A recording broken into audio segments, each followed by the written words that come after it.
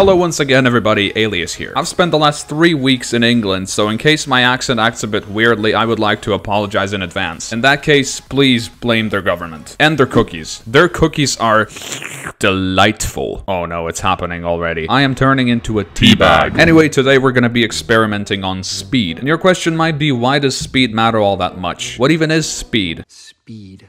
I am speed.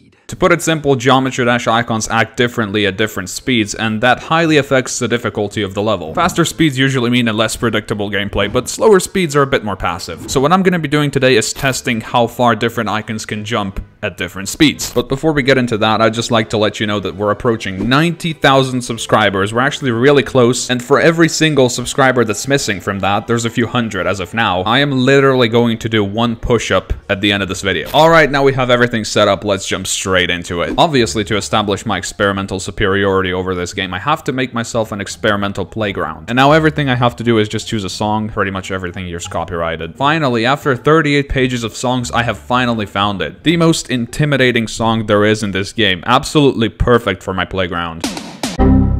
Sounds great. Begin the experiment.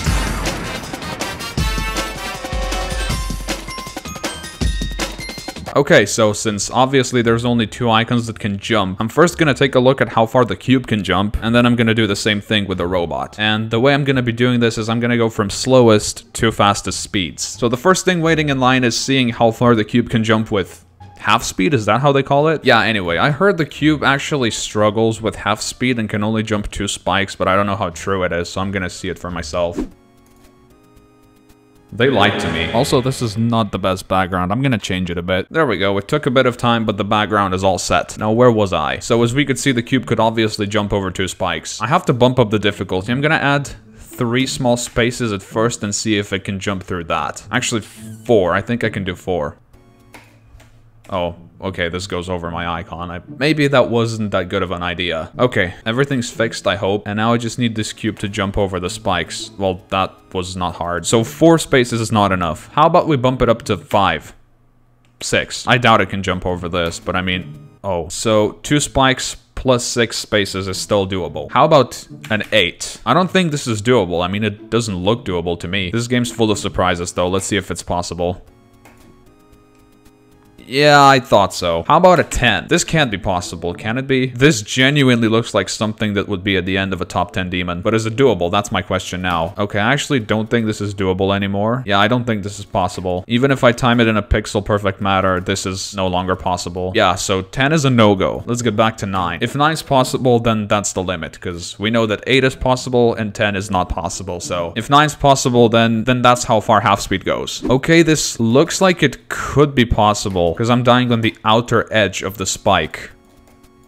Oh my god, it actually was possible, I knew it. Okay, so 9 is possible, 10 is not possible, so 9's the limit for half speed. Alright, let's move on to the next one.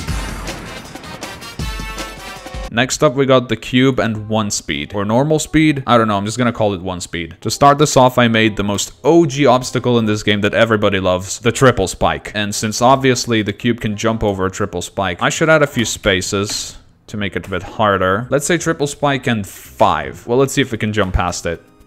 Yep. Alright, so triple spike plus 5 is doable. I'm gonna take a shot in the dark and say the limit is 8. This doesn't look that possible anymore, and it just looks so off. I have to move this one in the center. Now it looks better but also more impossible. Okay, I know that there's a bug with which the cube is actually able to jump higher if it bounces off the ground. So I'm gonna make it so that I have to bounce off the ground before I jump over the spikes. I'm actually interested now. Can the cube jump over 8 spaces? Okay, so not even with the cube's full capability is it possible to jump over these spikes. That means I'm gonna have to decrease it to 7, but then this is gonna look off again. Okay, is 7 the limit to what this cube can jump over with one speed? Okay, so it's possible with 7 spaces, but not with 8. That means that the limit of how far the 1 speed cube can jump is 3 spikes and 7 spaces. Next speed, Okay, so next we're gonna be doing the double speed. I don't know anything about double speed, so this is gonna be interesting. First, I believe I'm gonna start with the quadruple spike. That should be possible to jump over, and if it's not, I'm genuinely gonna be surprised. Yep, not surprised at all. All right, so we got four spikes in the line, and I'm gonna add five spaces. This still looks doable, but is it? Let's see. Yeah, definitely doable. Five's not enough. Let's do six, seven, eight. 9. This looks like it could be the limit, and I'm also gonna center this because it just doesn't look good. So is 4 spikes and 9 spaces the limit of the double speed cube? Okay, personally to me, this does not look doable, and it doesn't seem doable either, so it's probably not. Okay, 9's too much. Let's try 8. 8 could be it, let's see. If 8 is doable, then that's the limit. And it's doable. Okay, so we got the answer to that pretty quickly. 9 isn't possible, 8 is possible. So the limit for double speed cube is 4 spikes and 8 spaces. And now it's time to move on to the next speed. Triple speed is what was once known as the terror of this game. It was the fastest speed until the next one came out, but we're gonna dedicate some time to that later. Right now, I wanna see how far the cube can jump with triple speed. I'm gonna try 5 spikes at first. So far, with each speed, I could increase the spike count by 1, but wait a second. When I was beating all easy levels, remember there was a level called the double triple trial. It had triple speed and six spike jumps, so judging by that, the cube should be able to jump over six spikes at triple speed. Did I just embarrass myself? Oh yeah, I did. That wasn't triple, that was quadruple speed. There's always something that has to go wrong in the video. Okay, at least we know that it can jump over five spikes. I'm gonna take a guess and do four spaces at first. I think I trust myself enough to be able to do four. So let's see how far from the limit we were. Okay, 4 is still possible, so I can extend it by a few spaces. 5 or 6, I think either 5 or 6 are the limit. 5 at first, because it was genuinely hard with 4 already. Okay, 5 is possible still. I took a guess and said either 5 or 6, so now it has to be 6, knowing that 5 is possible. Let's do this! Okay, as it turns out, the double jump strat doesn't work on 6 either. So now I can determine that the limit for cube at triple speed is 5 spikes and 5 spaces. Knowing that, it's time to move on to the last speed, for the cube. Now that we know all the other answers, I can select the highest speed in this game. How far can the cube at 4 speed jump? Okay, the double triple trial had 6 spikes, as I said before, so 6 spikes is definitely possible with 4 speed. Yeah, not the easiest. Still, I think we could go further. I'm gonna try 3 spaces at first. Alright, so that was 3 spaces, right? So it must be either 4 or 5. I'm gonna say 4. Okay, 4 is still possible, so it must be 5. Actually, just to spite this game, I'm gonna move straight to 6 spikes and 6 spaces. If this is possible, then that might be the limit to how far the cube can jump at all. So if you want to make an Extreme Demon, keep this in mind. Okay, as it turns out, even that is actually possible. However, I don't think 7 spaces is possible. It really shouldn't be. If it is, I'm actually gonna be surprised. Is 6 spikes and 7 spaces the absolute limit to how far the cube can jump in this game? Let's find out.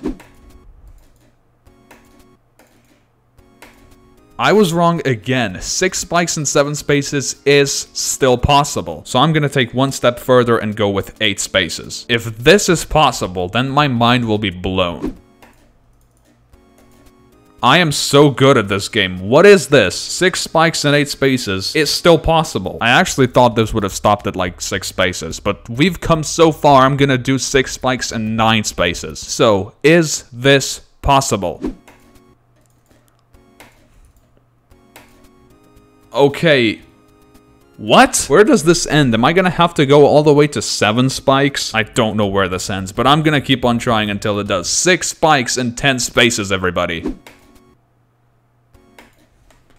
Okay, so I've been trying for a while and I don't believe that this is actually possible. But I still haven't gone through this with the double jump strategy. Now at least we know if it's possible with the double jump strategy, then that's the limit.